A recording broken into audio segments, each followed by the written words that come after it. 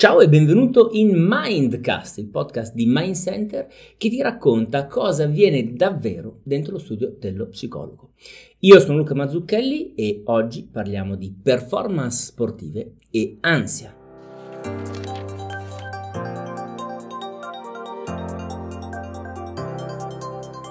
Men sana, in corpore sano.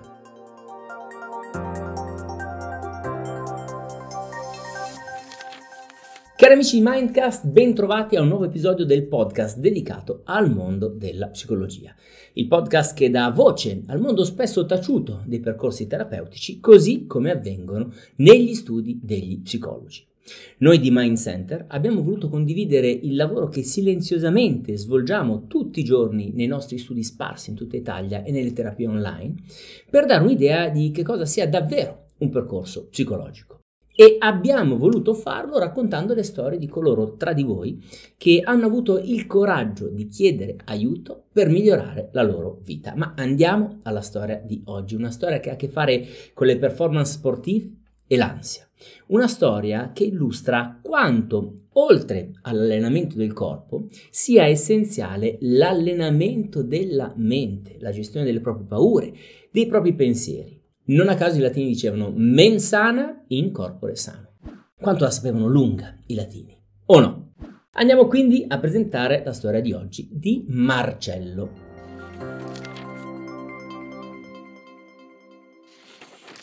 Marcello contatta Mind Center compilando il form sul sito mindcenter.it. Leggendo la sua richiesta mi colpisce come si è espressa molto chiaramente. Marcello chiede di migliorare le sue performance sportive affrontando dei problemi che si porta dentro da ormai diversi anni. Decido di indirizzarlo al dottor Michele Bisagni, uno degli psicologi di Mind Center specializzato in psicologia dello sport e performance. Michele è anche uno psicoterapeuta cognitivo-comportamentale e ha una passione per la ricerca che lo porta ad avere un approccio molto pratico e scientifico nel suo lavoro. Il giorno del primo colloquio i due si incontrano in studio. Il dottor Bisagni, dopo essersi presentato, illustra brevemente a Marcello il suo metodo di lavoro, data la sua formazione specifica in psicologia dello sport, e Marcello ha subito la sensazione di essere nel posto giusto, prende parola e inizia a raccontare di sé. Ha 28 anni, lavora come magazziniere, è sposato da 4 e ha un figlio di 2. Gioca a calcio dall'età di 7 anni senza aver mai interrotto l'attività sportiva. Il suo talento e la delicatezza del suo piede sinistro hanno da sempre colpito l'attenzione dei suoi allenatori. Ben presto gli è stato affidato il ruolo di centrocampista centrale, una posizione di grande responsabilità e anche di grande creatività. Marcello deve ricevere il pallone dai difensori e riconsegnarlo agli attaccanti, mettendoli nelle migliori condizioni per segnare. La sua classe non è passata inosservata e dopo un'accurata selezione tra i 10 e i 15 anni ha militato nelle giovanili della compagine della sua città, la cui prima squadra era iscritta a un campionato professionistico. Il sogno dei suoi giovani calciatori era quello di fare tutta la cosiddetta trafila per poi un giorno esordire tra i grandi, trasformando la propria passione in un vero e proprio lavoro. Purtroppo i sogni di Marcello si sono interrotti in età adolescenziale. A 15 anni, infatti, non è stato confermato e si è ritrovato nella condizione di doversi reinventare, ridimensionando quindi le sue aspettative. Come ha spiegato lui stesso durante la seduta, il mondo del calcio italiano prevede ben nove livelli. Ci sono infatti le tre serie di professionisti, ossia la Serie A, la Serie B e la Serie C, i cui protagonisti vivono di sport. A queste tre però si aggiungono altre sei categorie, quelle dei dilettanti, ossia la Serie D, l'eccellenza, la promozione, poi c'è prima categoria, seconda categoria, terza categoria. E in queste tendenzialmente l'attività eh, rappresenta un extra rispetto al lavoro. Eh, lo sapevate? Cioè non si finisce mai di imparare facendo lo psicoterapeuta. Marcello è arrivato al massimo a calcare i campi dell'eccellenza, quindi un livello indubbiamente importante, ma non sufficiente per consentirgli un impiego esclusivo e, una volta terminati gli studi, ha subito trovato lavoro come magazziniere.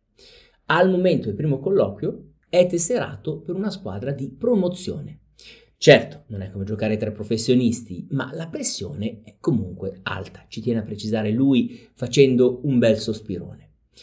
Lo staff punta a un campionato di alto livello. Il cartellino di Marcello è stato pagato tramite un investimento importante e lui stesso percepisce un rimborso spese mensile non indifferente che va a integrare in maniera significativa il suo stipendio da dipendente. La dirigenza è molto pretenziosa e capita spesso che dopo i match, specialmente in caso di sconfitta, critichi aspramente le prestazioni di Marcello. Ma quali sono i suoi problemi principali? Il ragazzo si definisce fragile da un punto di vista psicologico, tende a pensare per tutta la settimana al match imminente, immaginando i peggiori scenari possibili. Quando poi scende in campo, già molto teso, stremato, ha come l'impressione di aver già perso prima ancora di cominciare.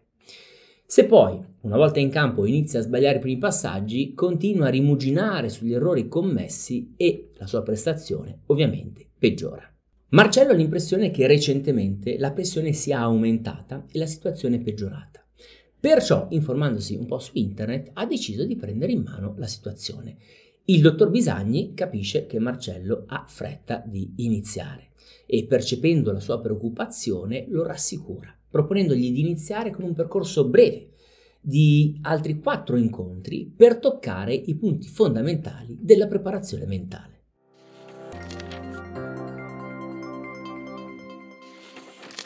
Raramente ci soffermiamo a notare quanto i nostri valori influenzino la nostra vita. In realtà i nostri valori guidano la nostra esistenza, attivandoci verso ciò che per noi ha importanza vitale.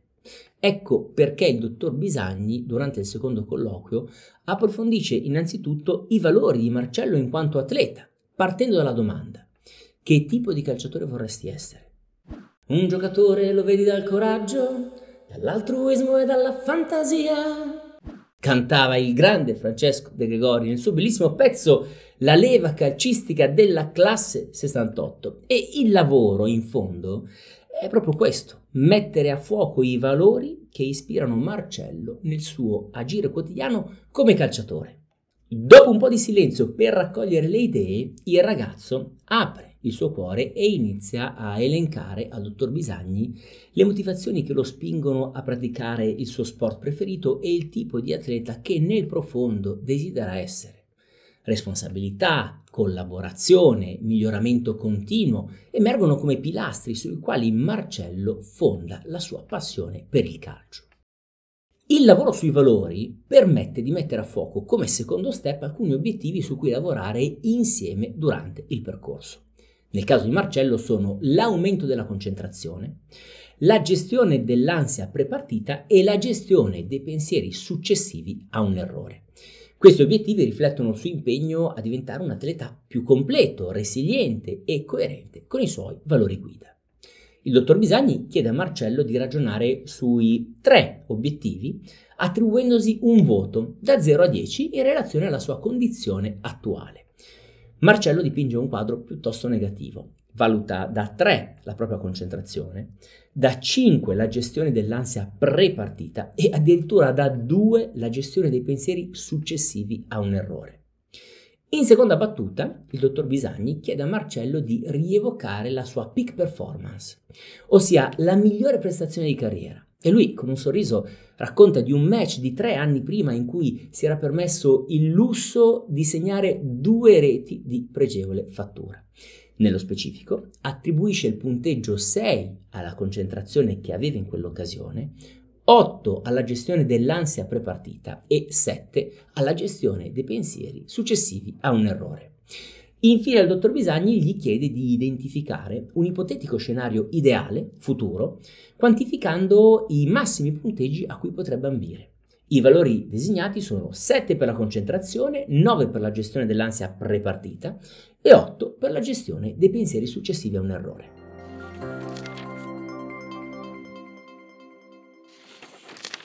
Una volta stabiliti i valori che come stelle illuminano il cammino e gli obiettivi da raggiungere, Marcello e il dottor Bisagni cominciano a lavorare su un primo tema molto rilevante per il percorso di autosviluppo di Marcello, una migliore gestione dell'ansia e dei pensieri disturbanti.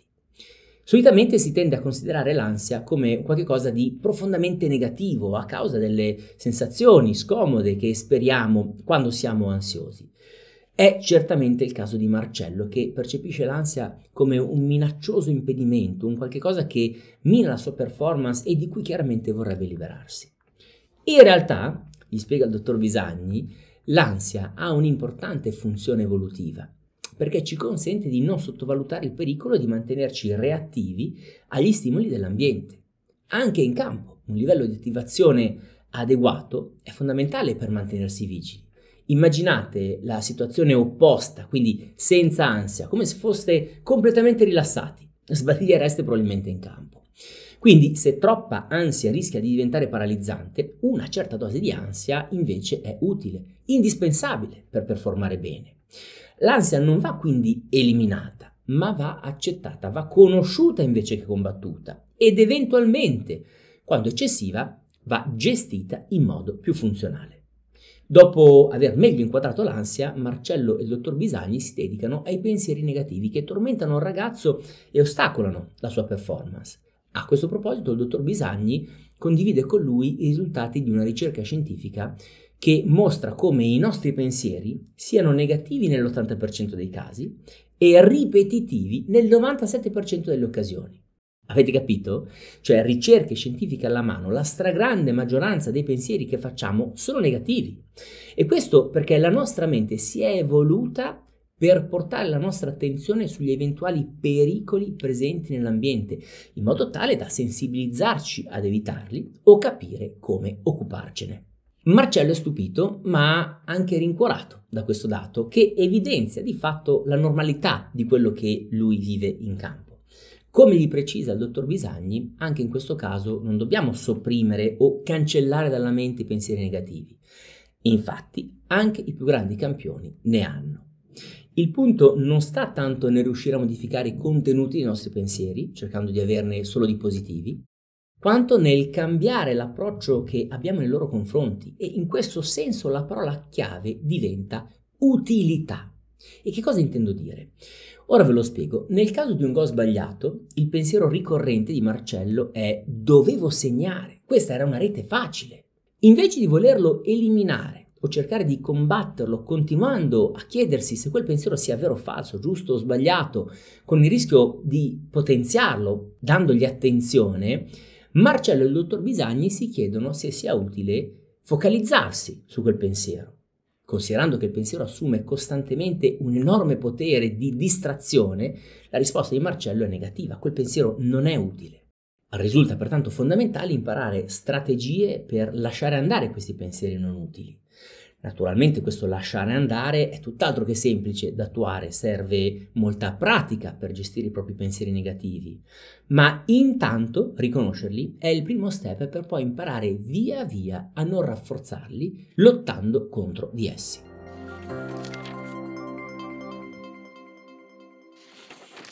Nelle sedute successive il percorso diviene man mano sempre più pratico. Innanzitutto il dottor Bisagni introduce Marcello alla pratica della meditazione.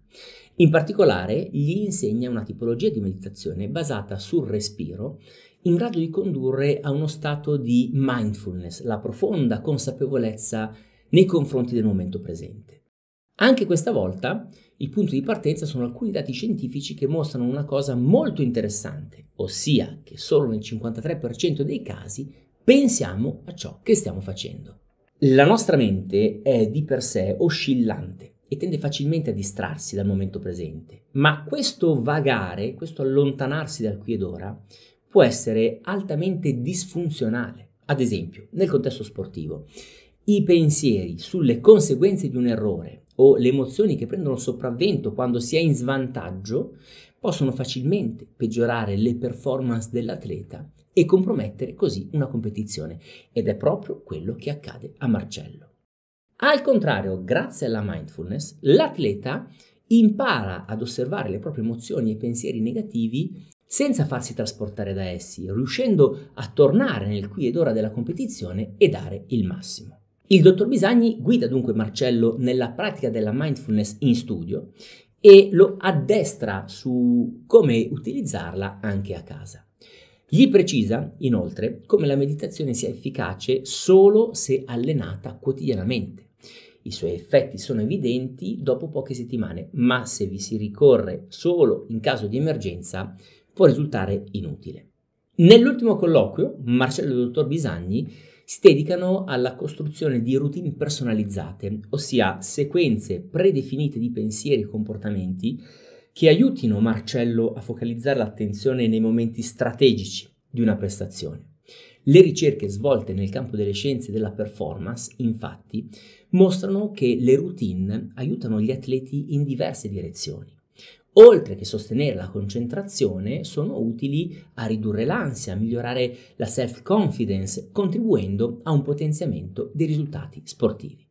In particolare vengono create due routine, entrambe di durata molto breve. La prima da attuare appena prima di entrare in campo, il momento in cui Marcello si sentiva più teso. La seconda invece prima dei calci d'angolo, che in allenamento gli riuscivano benissimo, trasformandosi in strepitosi assist per i compagni, mentre in partita avevano spesso degli esiti fallimentari. Terminato quest'ultimo affondo, Marcello e il dottor Bisagni decidono di salutarsi, concordando nelle due settimane successive alcuni aggiornamenti telefonici sull'andamento degli allenamenti e delle partite.